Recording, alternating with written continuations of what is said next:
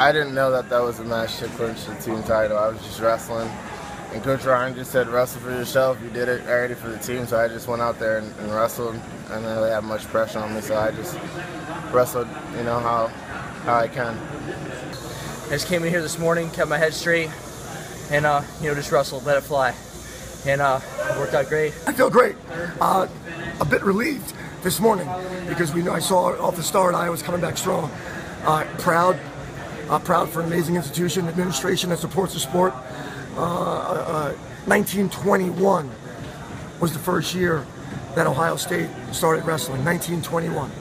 Uh, how many years ago was that? What's the math on that? 90, 94. 94, thank you. 94 years uh, since uh, the beginning of this program, we won our first championship. It was it was 64 years since our last Big Ten championship. I Love Lucy was the number one show on TV the last time Ohio State won the Big Ten title. I don't even know if there was TV. There wasn't TV in 1921.